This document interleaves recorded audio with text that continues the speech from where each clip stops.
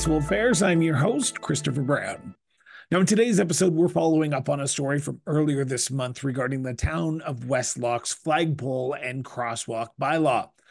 In a closely contested vote Thursday night, residents of the town of Westlock opted to pass the proposed crosswalk and flagpole bylaw with a narrow margin of 663 votes in favor to 639 votes against. The decision mandates the removal of the Pride crosswalk painted earlier in June and ceases the practice of flying the Pride flag and all other non municipal, federal, and provincial flags on town owned properties. The plebiscite held on February 22nd emerged from a resident led petition presented to the town council in October of 2023.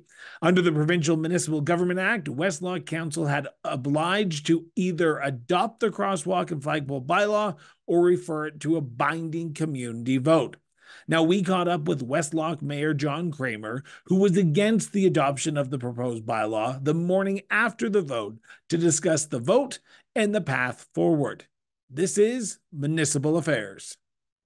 Mayor Kramer, thank you so much for sitting down with us again. We are recording this a day after the Westlock citizens went to the polls and voted on the proposed crosswalk and flagpole bylaw. Uh, as someone who came out against the proposed bylaw, your initial reactions the day after the vote with it coming back saying, yes, we want the proposed neutrality crosswalk and flagpole bylaw?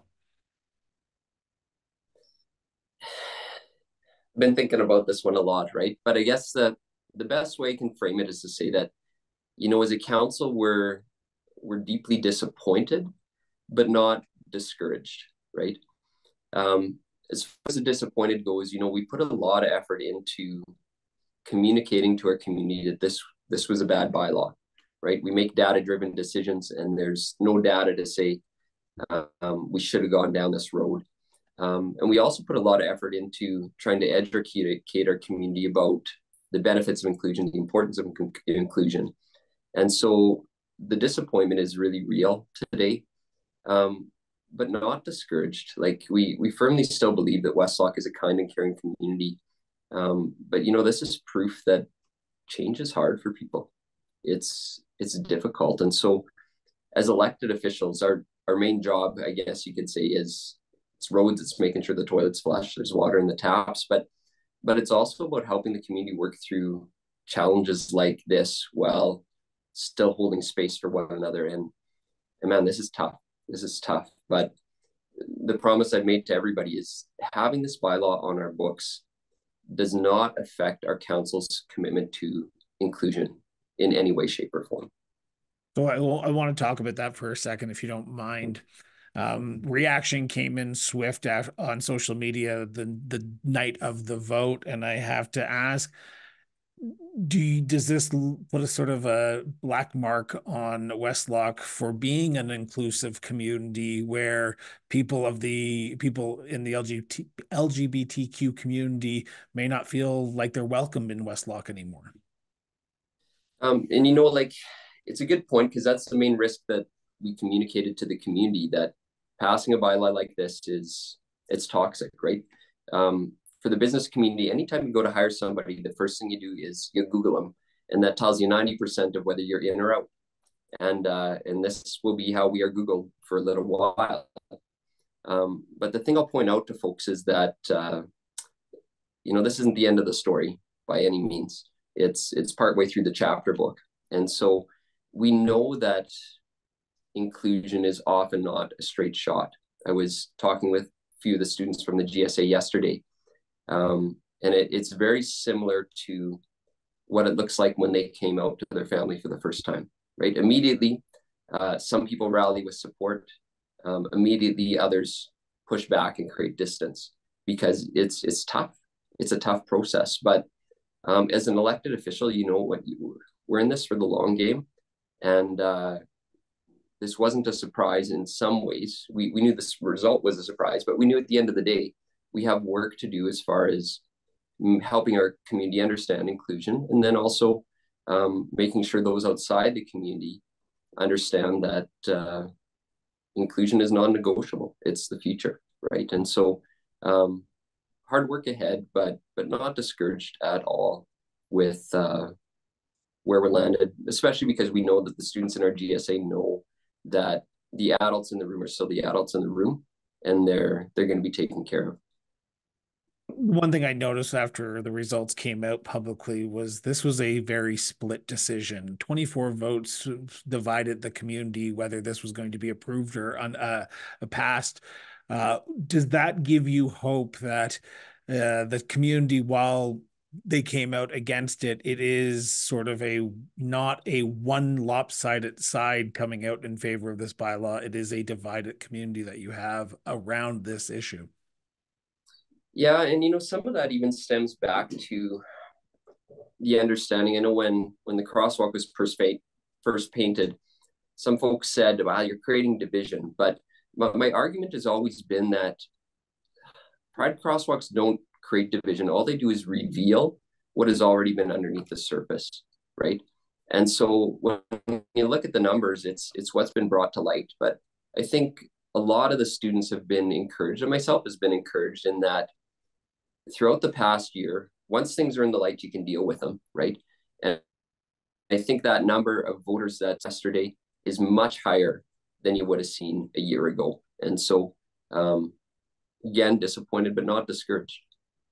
Now, one of the main things that the community will have to do is start the removal process of the Pride crosswalk that is outside of the town hall across to the Legion uh, I, I know it's still early days, but I'm assuming this will be on the agenda for the next town council meeting, correct?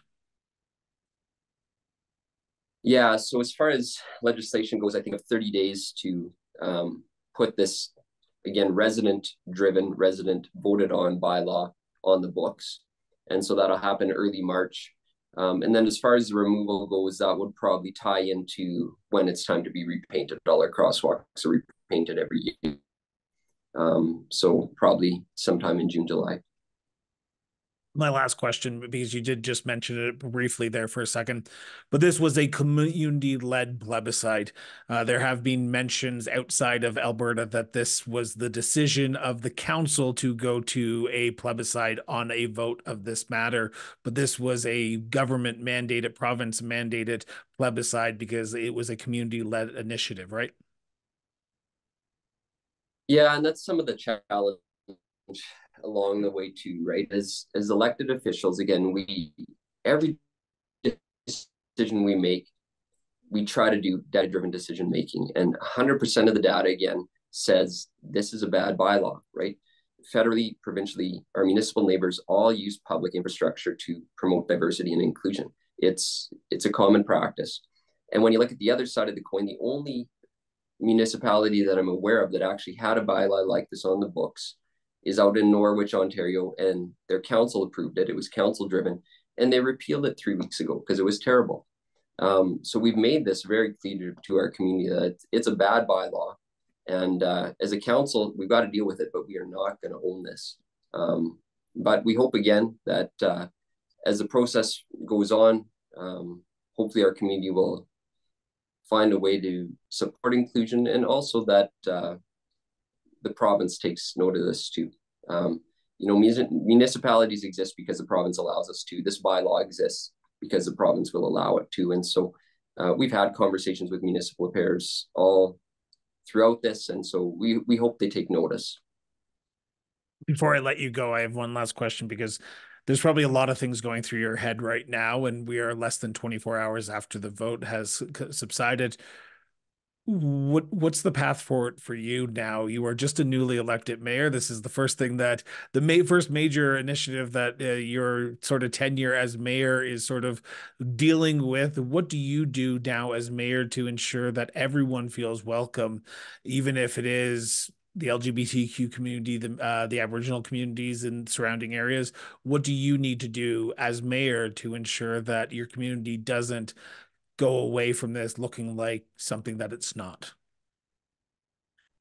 Yeah, you know, I I keep reminding myself often, and I will throughout the day. I, I signed up for this. Um, none of this has been a surprise, and uh, I signed up for it because I thought I was the best individual in the community to to take this on.